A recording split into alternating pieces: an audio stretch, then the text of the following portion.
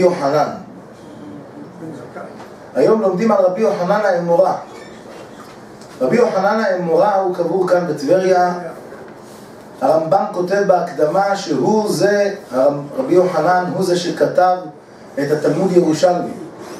וביארנו למה התלמוד ירושלמי נקרא ירושלמי, הרי לכאורה הוא התחבר בטבריה, והוא לא התחבר בירושלים.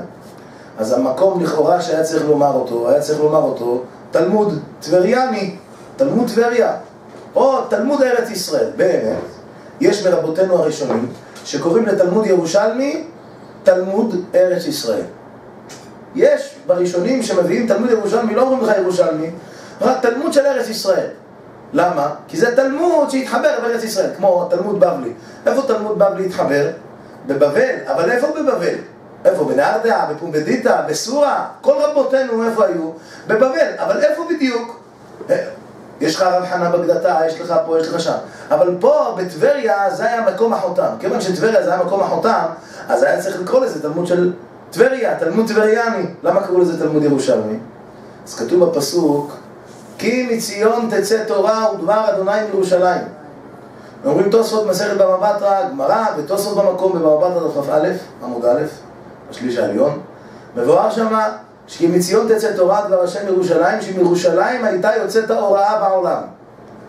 מירושלים הייתה יוצאת השפע בעולם. ועד היום גם השפע בכל העולם יוצא דרך ירושלים. תוספות מביאים בשם הספרי פרשת ראה שהיה אדם העולה לירושלים, מביא איתו מעשר שני ורואה כהנים בעבודתם, מקבל יראת שמיים, מקבל קדושה. לכן, תלמוד הזה נקרא תלמוד ירושלמי. למה? נכון שבמציאות איפה אנחנו נמצאים, רבי יוחנן ותלמידיו שסידרו את סדר הירושלמי, זה היה בטבריה, אבל מאיפה הם קיבלו את השפע? מירושלים. מלבד מה שביארנו כבר בשיעור הקודם, שרבי יוחנן אמר, אנא השתיירנה משפירד ירושלים. כיוון שרבי יוחנן אמר על עצמו שהוא נשאר מהיפים, מהאנשים היפים של ירושלים, עוד נדבר בעזרת השם על היופי שבו, היופי הגשמי, היופי הרוחני שהיה ברבי יוחנן. אבל מלבד זה כתוב בגמרא, אנא השתיירנה משפירד ירושלים, זאת אומרת, אני מאיפה נשתיירתי? משפירד ירושלים, זאת אומרת, אני על, שמה, על שם מה נקרא? על שם ירושלים. לכן גם רבי יוחנן, שכתב את התלמוד ירושלמי, נקרא הספר שלו, הסידור שלו נקרא תלמוד ירושלמי. לכן רבי יוחנן, ראינו כבר במעלליו התנכר נער, גמרא ביומא בדף פ"ב עמוד ב', בטרם אצלך בבטן ידעתיך. ראינו על רבי יוחנן, גמרא בקידושין דף ל"א עמוד ב', שכשנולד כבר נפטרו לו הוריו, לא זכה לראות את הוריו בחיים, אבא שלו נפטר בעודו בתוך עובר, אמא שלו נפטרה בשעת הלידה, ולכן קראו לו רבי יוחנן. למה יוחנן? על שם אלוהים יוחנך בני. הרי למי קראו אלוהים יוחנך בני? יוסף הצדיק אמר את זה לבנימין. למה אמר את זה לבנימין? כי בנימין היה יתום. אז הקדוש ברוך הוא ימשוך עליך חן. כמו שרבנתן אייבשיץ אומר באיגרת לגיסתו או לאחותו, הוא כותב לה, רבנתן אייבשיץ, אל תדאגי מבנייך לא עליכם שנעשו יתומים. למה? כיוון שהמציאות מוכיחה שהיתומים חריפי השכל הם. מכיוון, אומר רבנתן אייבשיץ, כיוון שהקדוש ברוך הוא נהפך להיות האבא שלהם לא רק הרוחני אלא גם הגשמי, כשלושה שותפים באדם. ככה הגמרא מגיעה מסכת קידושין דף ל' עמוד ב', מסכת נידה דף ל"א עמוד א'. כיוון ששלושה שותפים באדם, אביו, אמו והקדוש ברוך הוא, ברגע שהאבא הגשמי ירד, מי נשאר? האמא והאבא. מי זה האבא? האבא הרוחני, הקדוש ברוך הוא, הוא נהפך להיות גם האבא הגשמי. יש יהודי בצפת, שמעתי את זה ממנו מכלי ראשון, שיש לו במשפחה, לא עליכם, גיסו נפטר, והבן שלו היה בכיתה ו' והיה משתולל והכל, והמורה אמר לו, ילד יתום, המורה אמר לו, תשמע, אם אתה לא תלמד טוב, אתה נעיף אותך, אנחנו פה לא מחזיקים מחממי כיסאות. הילד היה מאוד בלחץ, בכה כל הלילה. כל הלילה בכה. נרדם מתוך בכי, למחרת בבוקר הילד עשה את המבחן והוציא מאה והוא לא למד מילה אחת בשיעור. המורה לא האמין, איך יכול להיות שהילד הוציא מאה? בשלמה תגיד בן אדם עכשיו למד תורה בשיעור, הקשיב. לא הקשיב, לא ידע, לא כלום. מה, מה, איך ידע? שאל אותו, אמר לו, תגיד לי, מה, מאיפה למדת את כל? אמר לו, בכיתי בלילה, אבא שלי בא אצלי בחלום, לימד אותי את כל הסוגיה של הגמרא שלמדנו בשיעור, ואני עכשיו יודע את זה טוב, והוא מסרטט לך את כל המילים של הגמרא בעל פה, רואים פה משהו רוחני. סיפור אמיתי מכלי ראשון, אני אישית שמעתי מיהודי תלמיד חכם בצפת. תראה איזה פלא פלאות זה. זאת אומרת, זה ממש ככה, אומר לך רבנו תנאי אבישיץ, כי אבי ואמי עזבוני, אומר רבנו תנאי אבישיץ, שיתומים, הקדוש ברוך הוא מגדל אותם בפועל. לכן אביה נקרא, אביה אשר בחיי רוחם יתום. ברבי יוחנן עוד לא מצאנו רמז כל כך, רק באלוהים יחנך בני, מצאנו כיוון שאמר לו, אתה יתום, אז הקדוש ברוך הוא שוכר לך חן, לכן קראו לו רבי יוחנן, יוחנן. למה יוחנן? שהשם ישלח לך שני חינות, חן אחד שאין לך אבא, חן אחד שאין לך אימא. אדם יש לו צרה, מה הולך? אבא, תראה מה עשו לי. אמא, תראה נפלתי. אבל כשהילד יתום, למי ילך? תביא לו איזה אבא שבעולם אחר, או אמא אחרת, זה לעולם לא יהיה אותו דבר. לא, העולם לא יהיה אותו דבר. יש לי מישהו ישב איתי,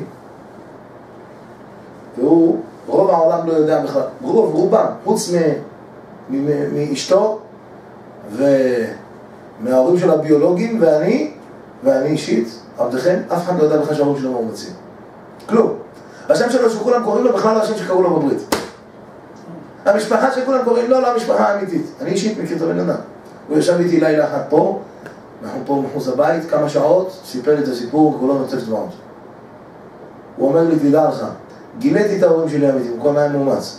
הוא אמר, גיליתי את ההורים שלי האמיתיים, באתי לאימא, אמר, או כשהוא רצה להיפגש איתה, בגיל שלושים ומשהו כבר, כשרצה להיפגש עם אמא שלו האמיתית, התקשר אליה, אמרה לו, בני, אני לא יודעת איפה אתה, כי הם לא מאשרים. אני מחפש אותך כבר שלושים וכך וכך שנים. כשדפק בדלת, כבר היו לו פרחים, היו לו הכל, האמא שלו הביאה אמיתית. היא לא מכרה אותו, לקחו לה אותו. סיפור שלם, לא משנה, לקחו לה אותו. איך שהוא הגיע לבית אוטומטית אלפא. שניהם נתחבקו, בכו אחד על השני, אומרת, אומרת לו, אני כל כך בוכה שלושים ומשהו כך וכך שנים מתפללת להשם שאני אראה אותך, והנה השם שלח לי אותך. אני מחפשת למי לעשות יום הולדת, אני מחפשת למי, כבר שנים אני מחזרת אחריך ולא מצאתי אותך. טוב, אמרו, איפה האבא? הלך, חיפש, חיפש את האבא, יושב באיזה מקום, באיזה עיר אחרת בכלל. הם לא, לא היו נשואים בכלל, סתם ככה, היו בחורים, וזה, הייתה בחורה בת 17 והיא ילד, ככה. ברוך השם שלא הפילה, השם ישמור, למה הפלה זה רצח, אנשים לא יודעים את זה. טוב, הלכה, הגיע לאבא שלו, הוא דומה שתי טיפות מים לאבא. הגיע לאבא שלו, בלי להודיע לו. הודיע, התקשר, אמר, אני, אמר לו, מה שלומך, ואמר לו, מי אתה? אמר לו, אני הבן שלך. אמר לו, אני לא אבא שלך.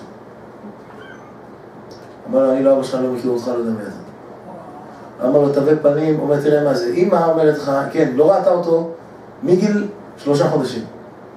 מה היא אומרת לו? הייתה בחורה בת 17, הייתה כבר לא מעוברת, בגיל 17 כבר היא הולידה אותו לעולם. זאת אומרת, בת 16 הייתה מעוברת. בת 17 כבר הולידה אותו לעולם, אומרת לו, אני מחכה לך 30 ומשהו שנים, אני... ואבא, מה אומר לו? אתה לא אבא, אתה לא... ואבא אמיתי, זה אבא ביולוגי. הוא אומר, הוא ראה במסמכים, הכל, זה אבא, הוא דומה לו שתי טיפות מים. אמר לו, אתה לא אבא שלי. שאל, אתה לא הבן שלי. אמר לו, שאל אותי אם הוא חייב לכבודו.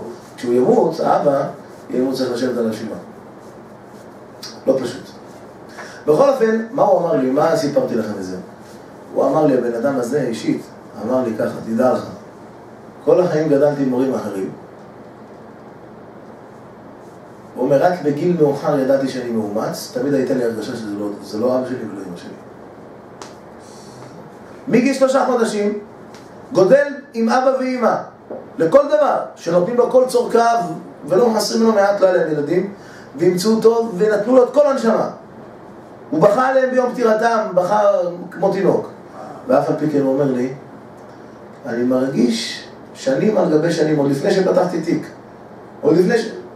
ידעתי שזה לא ההורים שלי. הרגשתי, הרגשתי, איפה אבא שלי האמיתי, איפה אמא שלי הביולוגית. תראה מה החינוך כותב במצווה ל"ג, שאדם חייב בכיבוד הורים, עצם זה שהביאו אותו לעולם. תראה מה זה. אז זה אביה נקרא אשר בחי רוחם יתום. למה? בגלל שהוא נולד יתום. אז לכן מצאו לו רמז. טוב, נפלא מאוד. ורבי יוחנן מה?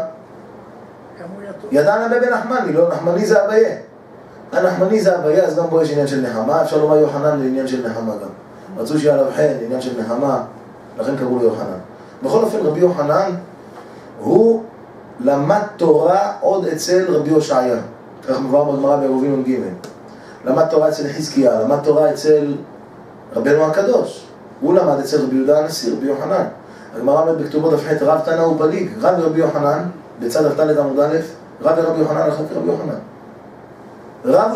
רב ושמואל הלכה, תלוי, הלכה רק רבי איסורי כשמואל בדיני. רב ורבי יוחנן הלכה כרבי יוחנן. שמואל ורבי יוחנן, עירובין מ"ז עמוד ב', שמואל ורבי יוחנן הלכה כרבי יוחנן.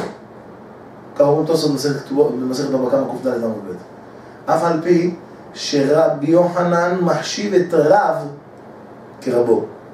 כשהיה כותב לו מכתב בחיי חיותו, אומרת הגמרא בחולין צדיה עמוד ב', היה אומר לו לקדם רבותינו שבבבל. כשנפטר רב, רבי יוחנן כותב מכתב למי? לשמואל, כי שמואל נהיה עכשיו ראש ישיבה, אחרי כתוב באגרת רב של הגאון, כדאי לכל אחד לדעת לקרוא אותו. פעם אחת, מינימום, ללמוד אותה פעם אחת. שם מובא כל סדר הדורות. כל סדר הדורות, כמה זמן היה ראש ישיבה, כל, כל דבר ודבר. אז שמה, באיגרת רב שירה גאון, שם הוא כותב שהיו שתי ישיבות. ישיבה של רב, רב בסורה ושמואל בן ארדעה, לא? השבילה נעיר לשבילה דנארדעה כשבילה דשמיא. גמרא ברכות נ"ח עמוד ב'. שמואל היה חכם גדול, הוא היה בן ארדעה ורב. כשנפטר רב, לא היה מי שיחליף את מקומו. אז קיבצו את שתי הישיבות של רב ושל שמואל ביחד, ושמואל מלך על שניהם, והיה ראש ישיבה אחרי פטירת רב עוד שבע שנים. כשנפטר שמואל, כשנפטר רב, שמואל מלך אחריו. רבי יוחנן שהיה רוצה להתכתב איתו, מה כותב לו? נקדם חברנו של בבבל. אז אומרת הגמרא שרב, שרבי שמואל, היה לו קצת, כן, חולשת דעת, חולשת הדעת. מה? מקודם רב היית קורא לו רבותינו של בבבל. עכשיו אני שנעשיתי ראש ישיבה במקומו, ואני גדול הדור, שמואל היה גדול הדור, אתה קורא לי חברנו? למה רבי יוחנן, למה אתה קורא לי חברנו? אז הוא רצה להראות לו באמת שהוא חכם גדול, ובאמת יש לו הרבה מה ללמוד, ללמד אותו, אז כתב לו על, באיגרת את כל העיבור השנים, כל סדר עיבור השנים של 60 שנה מאותו היום. ברגע, הוא כתב לו את זה ושלח לו את זה לירושלים, לארץ ישראל. כשרבי יוחנן קיבל את זה, אמר, נו מה, זה חוכמה גדולה לדעת עיבור השנים? בסדר, אז הוא יודע חשבון טוב, מה... אז הוא למד מתמטיקה, אז הוא מתמטיקאי. יש עוד מתמטיקאים ועוד מבינים שהיו חווים מזלות ועיבור השנים. עדיין היה קורא לו כך, עדיין היה קורא לו חברנו של בבל. ראה ככה שמואל, לא שקט על שמריו. אומרת הגמרא, שלח לו 13 גמלים. אצלנו כמה מקומות מספר 13, בפרט אצל רבי יוחנן. 13 גמלים טעונות בחלקים של טרפויות, יש לה 70 סוגי טרפויות, ו-13 גמלים, ובכל סוג טרפות יש כבר כמה וכמה, יש 70 כללים, יש כמה וכמה פרטים, מאות של פרטים בדיני טרפויות. שלח לו את זה. 13 גמלים מלאים בסימני טרפויות, רק כשהוא קיבל את כל סימני הטרפויות האלה, אמר, אה, עכשיו אני רואה, כשרבי יוחנן ראה את זה, כבר קיבל, אמר, או, זה סימן כבר שהוא באמת גדול, זה סימן באמת שהוא ענק, אין אפס. לא אמרתי לא, קיבלתי את דבריו, קיבלתי באמת שהוא גדול בתורה. וכבר היה קורא לו, חברנו, במקום חברנו, כבר התחיל לקרוא לו רבותינו של רבי.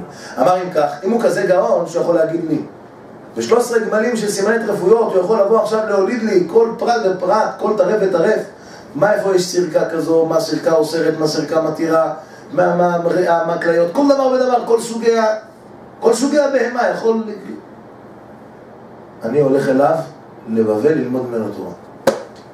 ככה רבי יוחנן, גדול האמוראים בארץ ישראל. גדול האמוראים בארץ ישראל. אומנם רב תנא הוא פליג ורבי יוחנן מקבל, אה, מקבל את רב כרבו, קורא עליו עודן של בבל, מסתכל לך כרבי יוחנן. תראה איזה כבוד עצום.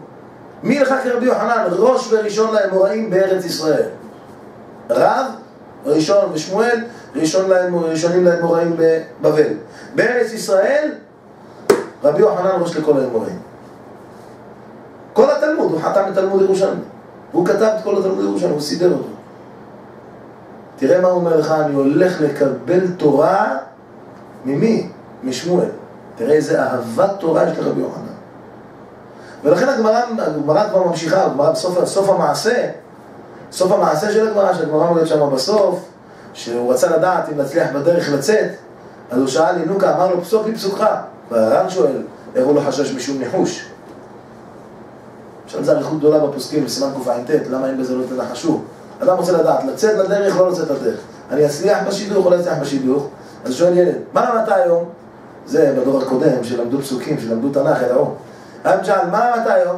אז אני, אני שואל את הילדים, אני שואל אותם, חוזרים מהגן, אני כמעט, כמעט כל יום שואל אותם, כמעט כל יום, משתדל. שואל, מה למדת היום? שואל את הילד, מה למדת היום? אומר, הגננת קישתה את הגן כל הלילה. יום אחד, שואל אותו, מה למדת היום?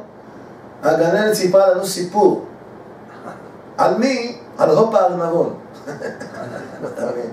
טוב, יום שלישי, אה, תלמד את הילדים אה, על רבי עקיבא, על רבי יהודה בן יוסף, בסדר, אולי גם על הופה ארנבון אולי, לא יודע, אבל יש דברים כל כך, ילד דומה לנייר חלק, אתה יכול לדעת מה אתה יכול לכתוב עליו.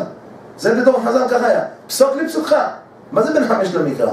בין חמש למקרא, כלומר, בין חמש למקרא כבר הוא שוחה בתוך הקריאה, זאת אומרת, עד גיל עשר כבר ילד בקיא בכל התנ"ך. לא פלא, השנה היה חתן תנ"ך, ילד בגיל 14, יודע פסוקים בדניאל, כל בדניאל, אתה יודע, ספר דניאל זה מאוד קשה. עזרא, נחמיה, שם הכל זה ארמית. ארתחששת, זה זה, הכל בארמית שם. אתה יודע, הכל בעל פה. למה? כי ילד דומה לנייר חלק, מה שאתה כותב בו, הכל נרשם. הכל נכנס. פלא פלאות. אז זה שאל אותו, פסוק לי פסוקך.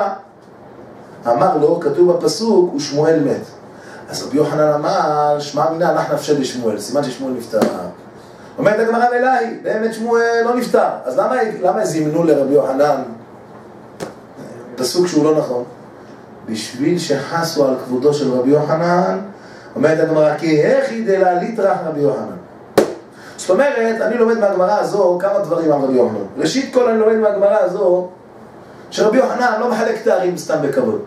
היום כל אחד מרן, כל אחד רשקה בהג, כל אחד נהיה פוסק הדור. רבי יוחנן לא כותב סתם. כי, כי אם אתה משבח מישהו שהוא לא ברמה באמת ששיבחת אותו, אז אם כן, מה הנחת? איך הגמרא אומרת בברכות ט"ז עמוד ב'? שאלו אותו, מה מה... אמרו לו, הגמרא אומרת שם, מה, מה אתה מנחם את העבדים? כשהעבד נפטר, מה אתה מנחם אותו? אדם נפטר, נפטר לו עבד, מה אתה מנחם אותו? אומרת הגמרא, מה אומרים עליהם? אמרו לו, אמרו לו תלמידיו, באו לנחם אותו וכולי, אז הוא אמר להם, עבדים ושפחות, לא כך שניתי לכם. אה, עבדים ושפחות אין עומדים עליהם בשורה ואין אומרים עליהם ברכת אבלים ולא תנחומי אבלים? אלא מה אומרים עליהם? כשהם שומרים לו לאדם על שורו ועל חמורו שמת. אדם עבד לו שעון, אדם עבד לו אלפיים דולר. מרגיש צער, נכון? מה אתה מברך אותו, אומרת הגמרא? תברך אותו ברכה, המקום ימלא חסרונך. עבד לך, המקום מלא חסרונך. נהרס לך רכב, המקום מלא חסרונך. וכן על זה הדרך. אומרת הגמרא, רבי יוסי אומר, אבל אם עבד כשר הוא, אומרים עליו, הווה אשתו ונאמן ונאמן הגיעו, זה הגמרא שרציתי להראות לכם. רבי יוסי. רבי יוסי אומר, אם יש לך עבד כשר שנפטר, מה אתה, מה אתה אומר עליו? אה, היה אשתו ונאמן ונהנה מהגיעו. אמרו לו, חכמים, אם כן, מה הנחת לכשרים? אם אתה אומר על עבד, אתה אומר על אשתו, והיה נאמן, נהנה מגיון, אז אלה באמת האנשים, זה עבד. מה תגיד באמת על האנשים הכשרים הצדיקים? זאת אומרת, כלומר, הגמרא אומרת, אל תחלק תארים בחינם. אין תארים סתם, אין כזה דבר. רבי יוחנן מלמד אותך מידת האמת. כל דבר ודבר, תשבח. מצווה לפרגן לשני. תהיה הרב איפרגן, כל היום תפרגן. תפרגן, תפרגן, כולם להיות משפחת איפרגן. לפרגן, לפרגן, לא להפסיק לפרגן. זה אין בעיה. זה, לא, זה הכי טוב, אין יותר טוב מפרגון לזולת. גדול מלבין שיניים לחברו, אומרת הגמרא בכתובות ק"ד עמוד ב' יותר משקיעו חלב. אין, בסדר, צודק. אבל מה? תכבד כל אחד, תשבח אותו במה שיש בו. אל תגיד לבן אדם סתם דרוויש מהשוק, תגיד לו אשריך, איזה תלמיד חכם אתה. אתה תלמיד חכם. שני הלכות בבוקר הוא לא יודע לקרוא. אתה אומר לי, תלמיד חכם? אתה יכול להגיד לו, אשריך, איך אתה עובד יפה, איך אתה נושא ונותן באמונה. או, עכשיו, שומע, נושא ונותן באמונה. או, מצוין. רואה אותך איך אתה מקבל כל אדם בסדר פנים יפות בעבודה שלך. תשבח בן אדם במה שהוא, אתה מבין? לנגר, אל תגיד, וואו, שמעתי, אתה יודע לעשות שם ב... ב אתה יודע, להיות נפח, משהו מיוחד. ולנפח תבוא תגיד, הוא, שמעתי, אתה יודע להיות נגר, משהו, לא. לנגר תגיד אתה נגר, ולנפח תגיד נפח. אגב, בגמרא מבואר בכמה מקומות בתלמוד, ומהם במקוד ה' שרבי יוחנן נקרא בר נפחה. עוד מעט נתייחס לזה, למה הוא נקרא בר נפחה. בכל אופן, רואים ברבי יוחנן, אל תיתן פרגון לשני שהוא לא נכון. תפרגן בן אדם במה שיש בו. דבר שני, תגיד, אתה שמואל, מה, אתה שוחר כבוד? מה פירוש? למה הוא כותב עליך חברנו שבבבל? מה, מה אמר שמואל? שמואל אמר, אמר, לא ידע לי מידי דרבה ענה? כלומר, שמואל אומר, מה, לא ידוע לי דבר שרבי יוחנן לא יודע ואני אלמד אותו? אתה יודע עד כמה דברים אני יודע ורבי יוחנן עדיין לא יודע? תגיד לי מה שמואל אתה מתפאר פה? זה כבודם של תלמידי חכמים? תשובה שמואל מלמד אותנו מה זה ויגבה ליבו בדרכי השם. כן, אדם צריך להעריך את התורה שיש בו. ולא זו בלבד, מה יאמרו העולם? אם יבוא לפניהם איגרת, הרי בבבל מה אני נקרא שמואל? גדול הדור. אם רבי יוחנן שהוא גדול הדור בראש בארץ ישראל, יכתוב עליי חברנו, אז יגידו, אה, אם מחזיקים ממנו רק חברנו, כבר לא יקבלו דבריו. בא רבי בא שמואל אומר, אני לא חברנו, אני רבותינו. דבר שלישי שלומדים מהסיפור הזה, שרבי יוחנן, כשקיבל את האמת וראה באמת את הגדלות הנוראית של שמואל, אז אמנם הוא גדול הדור וכתב את כל התלמוד ירושלמי, רבי יוחנן לא עושה חשבון לעצמו. תופס את הרגליים ואומר, אני יוצא לדרך. אלא, מה פסק לפסוקך? הוא רוצה לדעת אם כן לצאת או לא. אבל הוא מצד עצמו כבר מוכן ללכת להתבטל כלפי גדול הדור. אה, אתה גדול הדור פה בארץ ישראל, כן, אבל יש רב יותר גדול ממני, שם בחוץ לארץ, אני הולך לקבל ממנו תורה. למה? יש בה פיקחות שאני אין בי. היה גאון, רבי סלמן חוגי עבודי, זכר צדיק וקדוש לברכה. ישב בבית דין יחד עם מורזקני הרב, ויחד עם הגאון רבי יעקב סופי עליו שלום בבגדד. אחר כך פה בארץ ישראל, יש, הוא היה אב בית דין בפתח תקווה, וחבר בית הדין איתו היה הגאון רבי בצלאל זולטי, לימים רבה של ירושלים, אשכנזי, ויחד איתו היה מרן הרב עובדיה זכר צדיק וקדוש לברכה, בצער אותו. הגאון רבי סלמן חוגי כשהגיע לארץ, היה הרב יצחק ניסים פה ראשון לציון, והיה מסתכל כל פעם מי עולה, מבגדד, מבבל, דואג להם. אז כשהגיע, הוא הסתכל ברשימה, ראה שהרב סלמן חוגי הגיע לארץ. אז חיפש, אמר, בטח נמצא באיזה בית מדרש, נותן שיעורים או משהו. הלך ל... שם איפה היו בפחונים נמצאים עדיין, בעלייה. הולך בודק, לא פחות ולא יותר, איפה שימו אותו? איפה שמו אותו? בטוריה, עובד. עובד, מנקש בפתח תקווה. אתם יודעים שפתח תקווה, למה קוראים לה פתח תקווה? הייתה עיירה, עיירת פיתוח. באמת של זה, בזמנו לא רצו לבנות שם כלום, כי היא לא הייתה ראויה ל... ידוע, באו לפני ההוא הסופר, לא נזכיר את שמו, כן? זו הייתה מושבה שלא הייתה ראויה לכלום. הכל היה שם מלא ביצות. מלא מלא ביצות. מבחינת חברון, של, של מה שחז"ל אומרים על חברון, על קריית ארבע, שהיא מלאה מתים, מלאה, אותו דבר, ארץ אוכלת יושבי. אז באו לפניו, אמרו שאי אפשר להגיע לשם. אי אפשר לבנות שם. לא כדאי לכם. בסוף בנו, תראה, התפתחה פתח תקווה, נהייתה היום עיר, מה זה עיר של תורה יש שם, ישיבות, ישיבות, בתי מדרשות, אתה לא מבין מה זה, כמה תורה יש שם. ושם היה גאון, פה ישב איתנו, לפני כמה זמן היה איתנו בשיעור פה, החתן שלו, הגאון, רבי עמרם אבו רביע, זכר צדיק קדוש לברכה, בעל הנתיבי עם. הוא היה רב העיר בפתח תקווה. בא רב העיר בפתח תקווה. רב ראובן כץ, עוד חכמים היו שם. בקיצור, הוא בא, רואים אותו במקור. מי מגיע? הראשון לציון, הרב יצחק ניסים, מגיע לשם ורואה את הרב, אב בית דין, אב בית דין, יושב ועושה בטוריה. אמר לו, אה, חכם? הסתכל עליו הרב סמן חוגיה, אמר לו, אל תגיד לי, אל תגיד לי לא, לא לעבוד. זה פה עכשיו אני צריך להביא אוכל לבית. אמשיך לעבוד, אמשיך לעבוד. אמר לו, חכם. אמר לו, אין חכם, פה בארץ צריך לעבוד, אני צריך להביא, צריך להביא כסף, צריך להביא אוכל, לא היה להם אוכל בבית, כלום. טוב, זה הרב ראה ככה, חיכה שיסיים את העבודה. סיים את העבודה, אמר לו, עכשיו תבוא איתי, יש לך, זה, מחר אתה מקבל משרה. אמר לו, אמר לו, טוב, אם יהיה משרה של תורה, אז אני אעבוד, אם אני צריך כמה שקלים, שיהיה מה לאכול. גם מוזקני הרב, כשהגיע לפה לארץ, מיד בא אליו הרב יצחק ניסים, רצה למנות אותו פה דיין בירושלים. אז גם הוא בא אצלו, לא רצה. למה? אמר לו, פה זה כבוד. פה הרבה כבוד, הרבה טררם, פה בארץ, אני לא מעוניין, אני לא... אמר לו, טוב, אמר לו, טוב, צריך לחיות, אמר לו, בסדר, תגיד לי משרה אחרת, אני מוכן. אז הוא לקח אותו והיה בוחן ברבנות. אז בזמנו לא היה, היה מבחנים פה. היום זה הכל דרך בכתב. אז הסבא שלי הוא היה בוחן שם שנים רבות, זה היה המשכורת שלו. וכל היום אני נותן שיעורי תורה, מבוקר עד ערב. עוד מהבוקר, לא רק בערבים, מהבוקר משיעור לשיעור, משיעור לשיעור. שש, שבע, ולא כמו היום שזה מצוי. בזמנו שלא היה כלום. קיצור, הם היו חברים. הרב סמנהוג הגיע הרב שלום, הביאו אותו. טוב. אז אמרו הדיינים, אמרו, יבואו יבחנו אותו, למה הרב סמנהוגי אמר, הרב יצחק ניסים אמר עליו שהוא בקיא בכל חושן משפט, ואבן העזר בעל פה.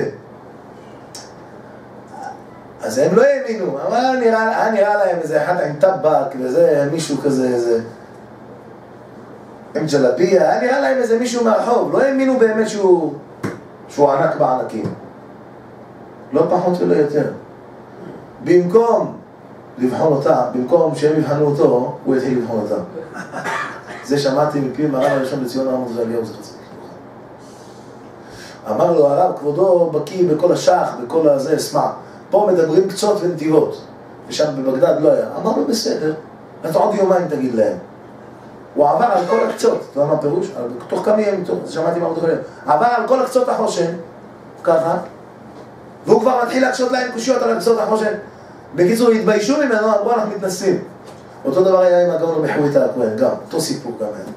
כשבאו למושב ברכיה, ורצו, אז אמרו, נבחן אותו, נראה, אמרו, על הרב מג'רבה, אמרו, נשאל אותו. באים לשאול אותו, במקום להיבחן, נמצא שהוא בוחן אותם, ולא אמרו שיצאו משם לפחד. בבושה גדולה אותם הבוחנים והיו גדולים בתורה. גדולים בתורה. היו חושבים, חשבו שהוא איזה פלאח יושב.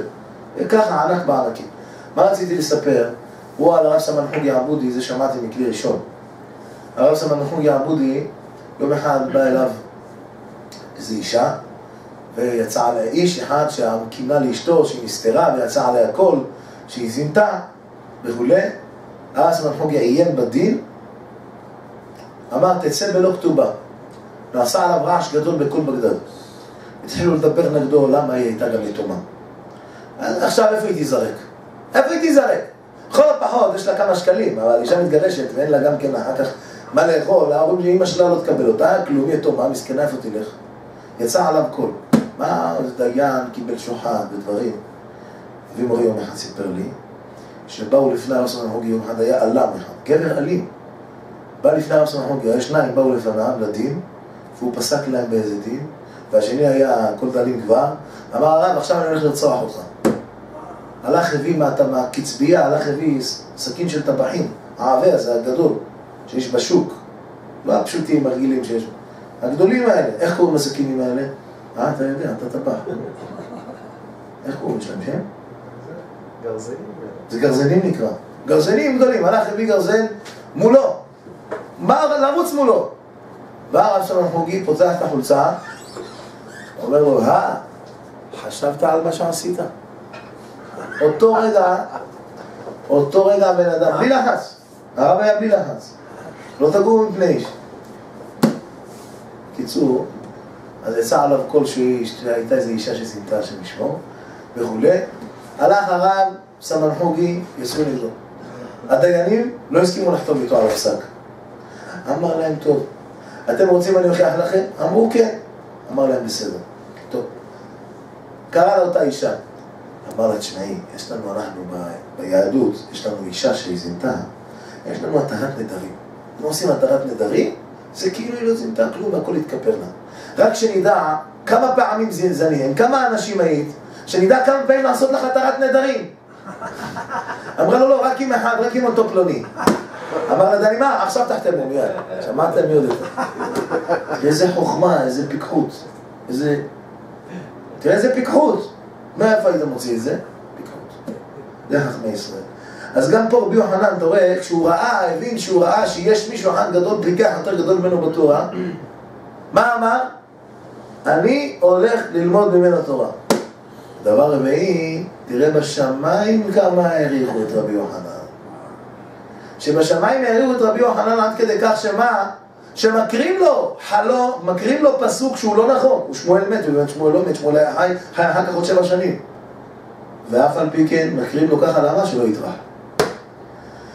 מאידך, כמו שאמרנו מקודם, רבי יוחנן מוכן לוותר על כל הקהילה שלו. בשביל ללכת, כל העיר, כל המדינה, כל ארץ ישראל, כולם היו נשענים על הפסקים שלו. שם יש יותר תורה, סימן שאני יכול להיות תלמיד. עדיף לי להיות תלמיד מאשר להיות רב. עדיף לי להישאר בגדר תלמיד. להיות מקבל, כל הזמן להיות מקבל, מקבל, מקבל, מקבל, מקבל. איך בן עזאי אמר, שימשתי אותו עומדות, מה שלא שימשת אותו יושבות. שימשת אותו, זאת אומרת שבשימושה של תורה, כשאתה משמש תלמיד חכם, אתה יכול לקבל תורה. למה נאמר על בן עזאי, יש גמרא בירובין, בדף כ"ט, גמרא בקידושין דף כ', ועוד, גמרא בבכורות, ועוד. מה אומרת שרבי יוחנן, שריש לקיש אמר, הרי אני כבן עזאי בשוקי טבריה. ריש לקיש אמר, הרי אני כבן עזאי בשוקי טבריה. מה אומר שם רש"י? אומר רש"י בכ"ט עמוד א' למעלה, אומר רש"י לשון מיוחדת, אומר רש"י שלא הניח כמותו בכל ארץ ישראל, תראה לשון רש"י. אומר רש"י, למה הרי אני כבן עזאי בשוקי טבריה? רבה אמר, הרי אני כבן עזאי בשוקי טבריה, למה הוא אמר את זה?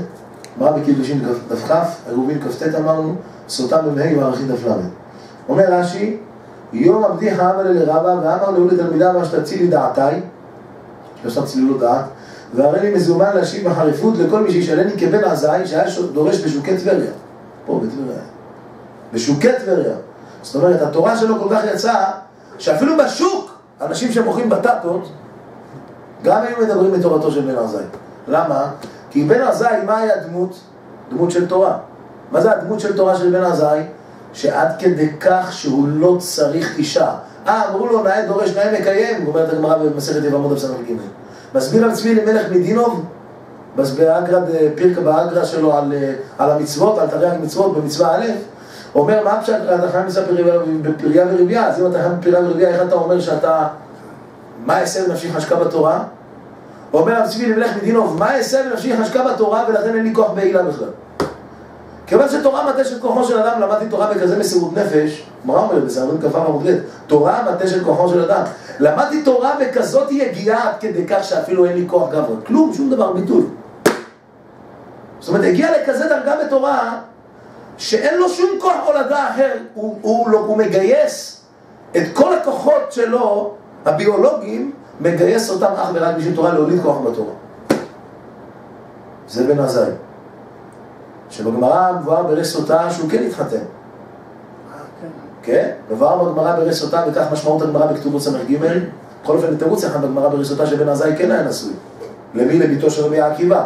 אבל אף על פי כן, לא יכל לקיים שום דבר, כיוון שאין לו שום כוח ביולוגי, כי הוא גייס את כל הכוח הביולוגי שלו אך ורק בשביל תורה. אתה יודע מה הפירוש? היצר הרע מגייס את כל הכוח הביולוגי רק בשביל היצר הרע. בן עזאי, בן אדם, סתם, בן אדם מהשוק, מגייס את כל הכוח שלו רק בשביל הדבר הזה. אצל בן עזאי מגייס את כל הכוח הזה אך ורק בשביל תורה, הוא מוליד בתורה, ברגע שהוא מוליד בתורה אז הוא כבר מקיים פירה ולא שם. ולכן מה אומר רש"י? אומר רש"י, כבן עזאי שהיה דורש בשוקי טבריה. זאת אומרת, בן עזאי הגיע לכזאת דרגה בתורה שלא רק הוא עצמו יושב ומלמד תורה, בעצמו בבית המדרש, אלא הוא פורץ החוצה. תורה, איפה היא נמצאת? איפה אני נותן שיעור? בבית המדרש, אתה לא נותן שיעור ברחוב. בן עזאי הגיע לכזאת דרגה בתורה, זה כמו ריש לקיש. לכן ריש לקיש אמר, כבן עזאי בשוקת ורגע. לכן רב אגב, אותו בחינה. למה? כי התורה, אני לא יכול לעצור אותה רק אצלי בתור בית המדרש, אלא היא כל כך פורצת אצלי, אני כל כך גדול בתורה בן עזאי, שהיא פורצת בלי, בלי רצוני. זה אני בעצמי. אני בעצמי לתת תורה לכל דורש, עד אפילו בשוקי טבריה. מה מוכרים בשוק בטבריה? דגים? מה מוכרים בשוק בטבריה? פירות, בטטות. גם אלה של הבטטות, גם הם מקבלים דמות של תורה. כשיש אדם כזה, כמו בן עזאי, שכל כולו דבוק באור התורה, אז גם אלה שיושבים שם בצדדים, גם הם חוטפים uh, טעימות, לא? אם עכשיו אתה נמצא עכשיו בגדול הדור נמצא לידך ואתה יושב איתו בשולחן, לא? אתה מקבל איזה חתיכת ממנו, לא? מה זה ברוחניות? זה בגשמיות, מה ברוחניות? כשיושב צדיק בשולחן אתה מקבל ממנו איזה שיריים. והיא ענק שבענקים, ואתה כלי, לפי הכל לפי הכלי, כמה שיותר תהיה כלי, כמה אתה יותר לקבל. כמה אתה יכול לקבל ממנו? בלי סוף. כמה יכול להשפיע עליך? בלי סוף. הרי זה, זה פורץ, זה נחל נובע, זה הכל נובע, זה מעיין המתגבר. זאת אומרת, זה בן עזאי, בן עזאי אומר לך, כבן עזאי שלו, אומר רש"י, ולא היה בימיו עוקר הרים כמותו. זאת אומרת, בימי בן עזאי לא היה עוקר הרים כמותו. כשלא היה עוקר הרים כמותו. אתה יודע מה זה עוקר הרים? איזה חריפות בשכל, למה? כיוון שהוא עוקר הרים בתורה, מופיע הגמרא בבמות ס"ג זה נפלא מאוד. אמרנו את זה פעם כבר. כיוון שריש לקי, כיוון, שרבי, כיוון שבן עזאי מגייס את כל הכוח שלו הביולוגי אך ורק בשביל תורה, אז אם כן נמצא שהוא משתמש אך ורק בכל כוחו, אך ורק בבחינה של עוקר הרים.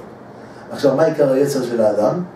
אנשי כנסת הגדולה, מה רצו לבטל, אומרת הגמרא ביומה, בס"ט, בסנהדרין, בס"ג, בס"ד, רש"י, בפרק כמה דעבוד הזרה, בדף י"ז. היצר הרע, מה רוצה? בעיקר יצר דעריות. עיקר היצר ולא תטורו אחרי לכם ואחרי עיניכם. זה עיקר היצר הרע. זה עיקר העיקרים. לשבור אותו, להרוג אותו, לקטול אותו. לקטול אותו זה דבר קטן. אין פשוט מילים אחרות. היטלר קטן לעומת היצר הרע שרוצה להכשיל את האדם בראיות אסורות. קטן עליו. אותו היצר הרע הזה שרוצה להכשיל אותך, מה הוא למשל אומרת הגמרא בסוף סוכה, בפרק החליל דף נ"ב עמוד א', אומרת הגמרא, לעתיד לבוא יצר הרע שנמשל, נראה להם לצדיקים כהר. אומרים, מה? איך ניצחנו כזה הר גבוה? כתוב במפרשים שעיקר היצר הרע זה עיקר, עיקרו באריות. בעיקר מה מתבטא ההר? באריות. אומר בן עזאי, כיוון שאני מבטל את התאווה הידועה, לכן מה אני מגייס את כל כוחי? אני עוקר הרים, עוקר הרים, עוקר ההרים של היצר הרע, ולכן תפילתו של בן עזאי מקובלת. למה תפילתו מצינו שכוח תפילתו של בן עזאי מקובלת? מה הסיבה לדבר? כי הוא כבר נקשר, עוקר הרים, הוא כבר מתחבר להרים. מי זה ההרים? אשא עיניי אלה ההרים, רבותינו אומרים אלו אבות הקדושים. אל תקראי להרים, אומר המדרש, אלא אל ההורים. לכן, והיו, אז איך הגענו לבן עזאי? מה רצינו לומר? אגב, מה הבאנו את זה? אה? היינו ברבי יוחנן, איך קפצנו לבן עזאי? אה? שהוא היה כלי שמשפיע כמו שמואל. כלי שמשפיע. אז כמו ששמואל, לא, כמו ששמואל הוא משפיע, כולם, אז רבי יוחנן מוכן לבטל את עצמו מפני שמואל שהוא גדול הדור. מה רואים פה? אהבת התורה של רבי יוחנן. לפי זה, לפי המהלך הזה שאנחנו מסבירים עכשיו, שרבי יוחנן היה לו אהבת תורה עצומה, נבין את המדרש. יש מדרש רבה, חלק ד', מדרש רבה אמור. פה, סימן ל', וזה גם מדרש רבה שיר השירים. שם המדרש מביא על הפסוק, אם ייתן איש את כל הון ביתו באהבה, בוז יבוזו לו. שם המדרש מביא על המעלה של חכמי ישראל, על התנאים, על האמוראים, מה היה איתם ומה הם עשו בשביל התורה. כמה הם מכרו את עצמם בשביל התורה. כמה הם מכרו את עצמם בשביל התורה. המדרש כותב, קדמך רבי הושעיה אשתיריה. כשרבי הושעיה אשתיריה נפטר, זה בפקעים נמצא. קברו נמצא בפקעים. היינו שם הרבה פעמים. כשנפטר רבי הושעיה אשתיריה, ראו מיטתו שפרחה באוויר. אתה יודע מה הפירוש? לא היה צריך להרים את המיטה שלו. כשהוא נפטר, לא צריך להרים את המיטה שלו. והיה דורו קורא עליו, אם ייתן איש את כל הון ביתו באהבה שאהב הקדוש ברוך הוא לאהבה הושעיה אשתיריה, בוז יבוזו לו. כל כך היה דבוק בתורה, עד כדי כך שהמיטה שלו כבר גבהה מהרצפה, בן אדם נפטר. זה מה שהיה עם רבנו הארי. שנשאו את רבנו הארי, שמו אותו במקווה, לפני פטירתו אמר להם, שאחרי שהוא ייפטר הם לא צריכים להטביל אותו, הוא יטבול לבד. כך מספר רבי חיים ויטל, מי לנו עד נאמן יותר רבי חיים ויטל. הורידו את רבנו הארי לקבורה, למקווה, ורבנו הארי עושה ככה. בן אדם נפטר, שלטון נחרי המוות בעצמו, אתה יודע מה הפירוש? כלומר, אדם שמבטל את הגוף שלו בעולם הזה, מקבל נצח בנשמה לעולם הבא. אם ייתן איש את כל הון ביתו באהבה בו זה בו זה לא, אומר המדרש, מעשה היה ברבי יוחנן ורבי חייא בר אבא, רבי בר אבא היה תלמידו. איפה היה הולך בדרך? רבי יוחנן, רבי יוחנן הרב מטייל, סליק מטבריה לציפורים. אמרנו, בכל סיום מסכת אומרים סליק. למה? אז שמעתי מהרב קוק, הוא אומר, למה אומרים הדרן בכל סיום מסכת? מה העניין של הדרן? זאת אומרת, כתוב במלכים, כתוב מלך הדר. הפשט, הדרן, זה אני חוזר, בוא נשמע עכשיו מה הרב קוק אומר. הרב קוק אומר, יצחק, רצית מטעמים מהרב קוק. אומר הרב קוק, שיחיה, אומר, למה בכל סיום מסכת אומרים הדרן? למה הדרן? אז במלכים, נכון, כתוב מלך, מלך עדד, מלך, מלך, מלך. כתוב מלך הדר. במלך הדר לא כתוב וימוס. בכל המלכים נאמר לשון מיתה. במלך הדר לא נאמר לשון מיתה. הוא אומר, כשאדם עושה סיום מסכת, אז הוא מתחבר בעצם, הוא נדבק בתורה. הוא נדבק עכשיו בחיים. ברגע שהוא סיים מסכת, הוא נדבק בחיים וניצול מן המיתה. לכן אומרים בו לשון הדר. למה הדר? כי בהדר לא נאמר לשון מיתה. אז הדר זה מביא אותו, מציל אותו ממוות, מכניס אותו לחיים. אז אני הוספתי לו, אמרתי לו מיד, שזה מה שכתוב בקדמונים, שסיום מסכת אין לעשות, זה ראשי תיבות סמ"ם. סמ"ם א' ל', ראשי תיבות, סיום מסכת אין לעשות. זה ראשי תיבות של סמ"ם. סמ"ם לא רוצה שיעשו מצוות. הוא לא רוצה סיום המסכת. כי לפי מה שהרב אמר, שסיום מסכת זה מבטל מיתה, מסלק מיתה להם.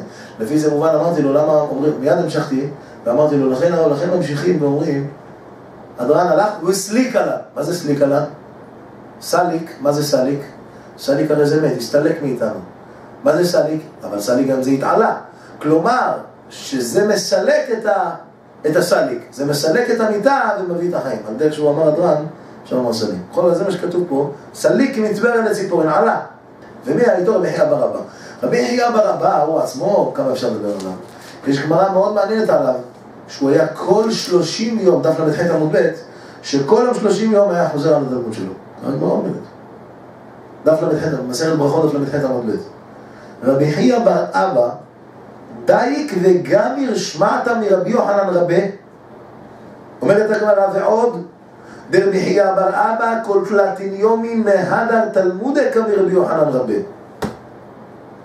כל שלושים יום רבי חייא בר אבא היה חוזר לפניו את כל מה שהוא למד. זאת אומרת, פעם בחודש יש לו מבחן אצל רבי יוחנן, רבי יוחנן שומע אותו את כל מה שהוא למדו כל החודש.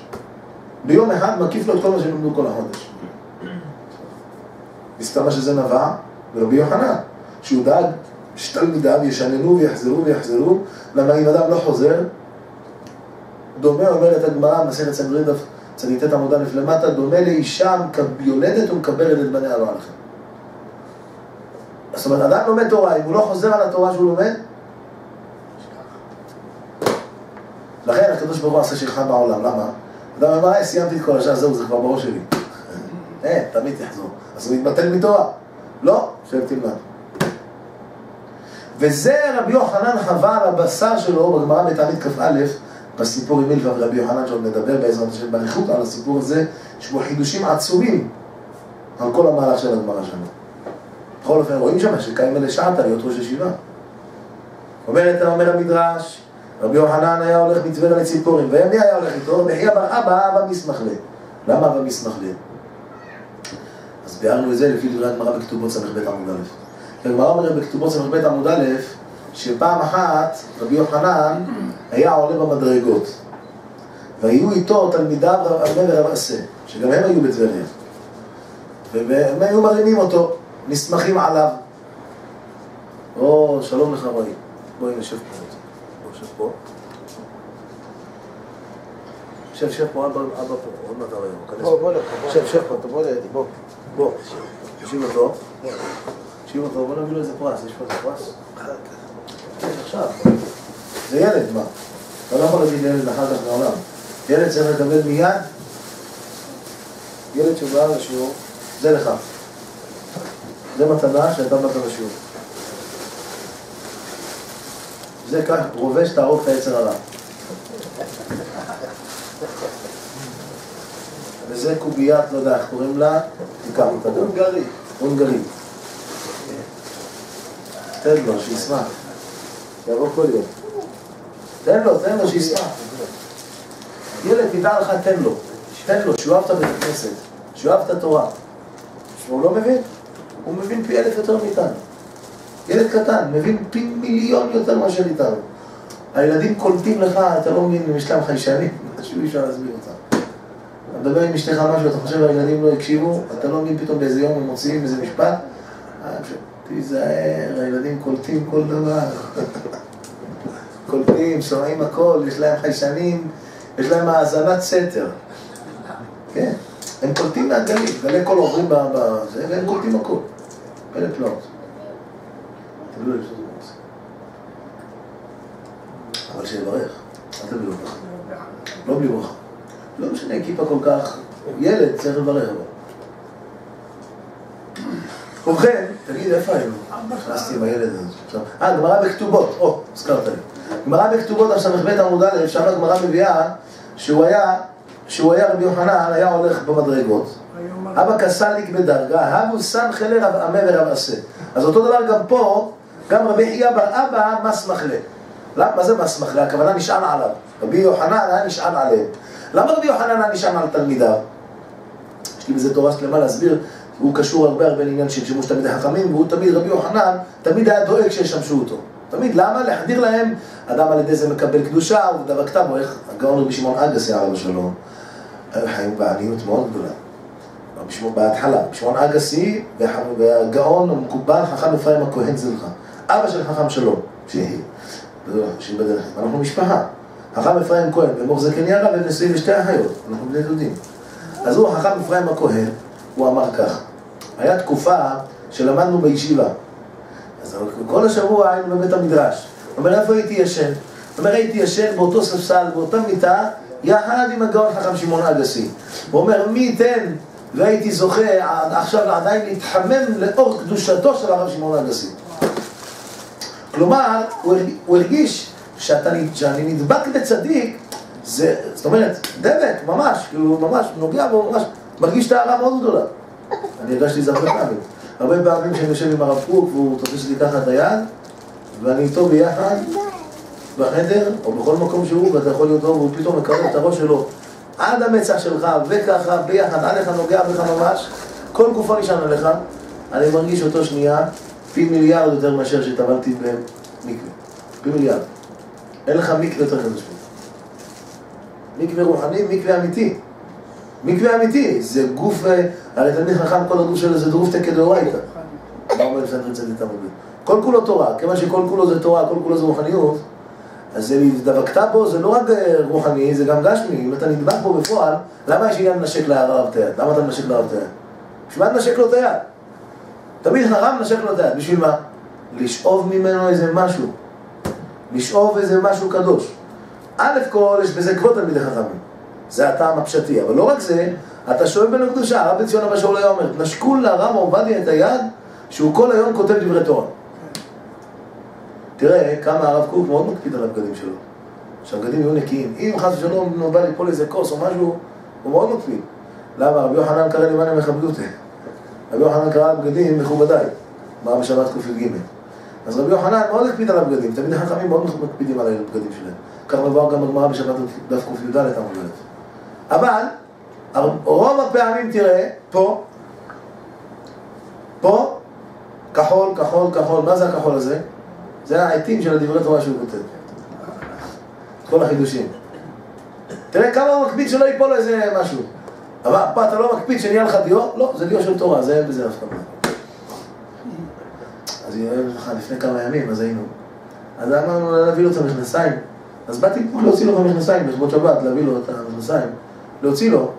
אז מישהו אמר לי, לא, תשאיר את זה, זה נעביר כבר. כבר קניתי לו חדש. צדיקים, נחתה נעשית על ידי אחרים. אז הגמרא אומרת, רבי יוחנן אבל קסליק בדרגה, היה עולה במדרגות. הבו סמכלה רב עמא ורב עשה. למה באמת רב עשה? למה סמכלה? כמו שאמרנו. אומרת הגמרא, איפחא דרגה. נשבר המדרגה מתחתיו. מה עשה? סליק עלה והסכינו. הרים את שניהם, את שני תלמידיו, איתו ביחד, וקפץ איתם. יוחנן היה מבוגר. כך מדובר בגמרא בשלהי בבא קמא, דף ק"ז. לפי זה יש לשער שמה שהוא היה יושב בשערי טבילה, זה לא היה בצער אותו. הרב עובדיה כשהיה צעיר לא נתן שיעור תורה בפני נשים. אבל לימים שהתבגר וכבר היה... כן נתן, כן, כן נתן שיעור תורה בפני, בפני ציבור נשים. אבל בצעירותו לא נתן שיעור תורה בפני נשים. אין דרגה שתלמידי חכם לתת שיעור תורה בפני נשים. היום זה פרוץ הדבר, תדעו לכם. בהרבה בתים יושבים בנות צעירות, וזה, ורבנים יושבים צעירים ונותנים, זה לא תחום, זה לא, זה יוצא מזה הרבה תקלות. לב יודע אמרת נפשו, כל אחד ואחד יודע בדיוק כמה מכשלות נגרם מזה, וכל אחד שומעים סיפורים, סיפורים שונים. סיפורים ירננו, סיפורים, סיפורים ירננו. זה לא טוב. אז אפשר לומר, תמיד אני מסביר שרבי יוחנן נתיב לשערי תפילה, לא מיום, לא מיום, מיום שהיה צעיר בגיל העשרים. הרבי יוחנן, יש אומרים שחי 300 שנה, בסדר הדורות מביא, כך מביא אדון רבי יוסף חיים גם, שיש אומרים שהוא חי 400 שנה גם. על כל פנים, היה מופלג. בשנים. מקום אחד כתוב שהוא היה ראש ישיבה 80 שנה. כך כתוב באיגרת המשיר הגאון. לא משנה איך שיהיה, הוא היה מבוגר. כשהיה מבוגר, ידעתי בשערי טבילה. אבל כשהיה צעיר, לא ידעתי בשערי טבילה. מה, הנשים עולות מהמקווה, תגיד לי, אתה נכנס שם, מה אתה... ועבר בגמרא גם, שלא שאלו אותו למסתפא מור מיצר הרע. לא שאלו. את רב גידל שאלו לו מסתפא מור מיצר הרע. את רבי יוחנן שאלו, לא מסתפא מור מעין אבישה. עין הרע שאלו אותו. למה? אז ביארנו למה לא מסתפא מור מעין אבישה? כיוון שאתה רבי יוחנן נפטרו לך עשרה ילדים. ישזה לנו. למה נפטרו לך עשרה ילדים? על כוכך ששרת עם עין אבישה. אז ממילא, לא מסתפא מור מעין אבישה שגם כן זה שלא ישלוט בך? אמר להם לא, ענה מזרע יוסף קעתנא דלשתא בן אבישה, אני ניצוץ יוסף רבי יוחנן. הארכנו בזה בספר בני מיכאל. כיוון שאני ניצוץ, רבי יוחנן, אני ניצוץ גם בחידושים על נושא בברכות. כיוון שרבי יוחנן ניצוץ יוסף, ואצל יוסף כתוב ויפוזו זרועי אדם, אז העשרה בנים זה כנגד העשרה טיפים, לכן לא היה לנו מה לעשות. אבל סתם ככה זה לא היה נבישה רגיל, זה גם תמיד חכם צריך לזרע מהם נבישה. כך מבואר בגמרא על רבי אלעזר, על רבי זרע, ברש הפועלים, כך מבואר בכמה מקומות בתלמוד, בברכות נ"ח עמוד ב', אבל גם תמיד חכם צריך מהם נבישה. איך שיהיה, כתוב פה שהוא היה מבוגר והעלו אותו. אז אמרו לו רבנו, אם אתה כזה גיבור, אתה יכול לעלות לבד, ואנחנו יכולים, ואתה יכול גם להרים אותנו ולקפוץ. אז תגיד לי, אז מה... אז למה כל אנחנו אתה נשמח בנו? אמר להם, מה אני, אם כן, מה אני אחלה עת זקנה? רבי יוחנן יודע שיש לו, יהיה לו אריכות ימין. למה? גדולת תורה שמעריכה על המשותף של אדם. כמה אהבת תורה היה לרבי יוחנן, כמו שכתוב בגמרא בחולין דף צדיה עמוד ב', כמו שראינו. מוכן ללכת למכור את עצמו בשביל התורה של מי? בשביל תורה, ללמוד תורה מפי שמואל. כמה אהבת תורה צריכה להיות חקוקה בליבנו. דוק ותשכח, וזה נסיים היום. אנחנו באמצע הסיפור, נמשיך את זה בנדר שבוע הבא, שרבי יוחנן, הוא בעל הממרה, רבי יוחנן אומר, בברכת התורה תוסיף, והערב נא השם אלוהינו יראה תורתך בפינו. מי תיקן לנו את הברכה הזו? גמרא ברכות על י"א עמוד ב' בשליש האחרון, רבי יוחנן. למה? כי רבי יוחנן מחדיר בנו אהבת תורה. יש לך אהבת תורה? תבכה בבערב נא. תבקש בבערב נא. אל תגיד את זה בחצי דקה. תחזור על המילים, תבקש. וערב נא, וערב נא, אבא וערב נא, וערב נא, וערב נא. מה זה וערב? תמתק לי את התורה. שהתורה תהיה לי מתוקה. כשאדם ירגיש מתיקות בתורה, ולא כל אחד זוכה, לא זוכים לזה ביום אחד, אבל כשאדם כבר מרגיש את המתיקות שבתורה, הוא לא רוצה לעזוב את התורה בכלל. ומכאן נלמד כמה ניצול זמן אנחנו צריכים בתורה. כמה ניצול זמן צריך לנצל בתורה. רבי יוחנן שנהיה רבי יוחנן, ניתן איש את כל הון ביתו, אומרת הגמרא. ואהבה שאהב רבי יוחנן את התורה, בוז יבוזו לו. כמה רבי יוחנן התמסר לתורה. לכן מה רבי יוחנן אומר? אומרת הגמרא בשם במסכת בבא מציאה דף מ"א, רבי יוחנן אמר, מה אתם מתרגם לי? חתנה, מי שמתרגם לי את המשנה הזאת, אליבא דחתנה, דברייתא אליבא דחתנה, מובן המלא במסותא, מה זה במסותא? למה לבית המרחץ? כלומר אני אביא אותו לבית מרחץ, הוא יושב במקומי, איפה שאני יושב, בידתי בשערי טבילה, והוא כל כך אדם כזה שהוא יהיה דבוק בתורה, אני אראה לו בעצם שיצר הרע זה כלום, כלום שבכלום. אני אביא אותך לדבק בתורה, וראי שתדבק בתורה, מה זה יצר הרע בשבילך? לא שווה גרוש, מה זה יצר הרע? מה זה יתי בשערי טבילה? מה זה אני יושיב אותו לבית המרחץ? סתם? ייקח לו את הכלים? לא, לא רק. אלא יש בזה עוד עומק. כלומר, אומר רבי יוחנן, אני אקח אותך לבית המרחץ, ואני אראה לך, עומדות, יוצאות משם אנשים מהמקווה, אתה יודע, כולם, כלה, כולם היד האלה נכנסת לחופה, ואף על פי כן תראה איך אתה נשאר כולך זך וטהור, ואין לך לא אין אבישה, ולא יצר רע ולא שום דבר. תמיד אני אומר שבזה שהגמרא אמרה, אין אבישה, כלול בזה גם יצר רע. זה אותו דבר. ולכן הוא אומר, ענה מזרע יוסף קעתנא ולא שתה נבישה. למה? כי יוסף לא שתה בו עין אומרת הגמרא, כיוון שהוא התגבר על יצרו, הוא שמע לו קדושתו. וזה מה שרבי יוחנן זכה. ולכן רב ורבי יוחנן, הלכה כרבי יוחנן. שמואל ורבי יוחנן, הלכה כרבי יוחנן. רבי יוחנן היה מקשר אומר, צעק הקדוש ברוך הוא ישראל ורב עליהם דורם מצוות שנאמר, אדוני חפץ למען צדקו, יגדיל תורה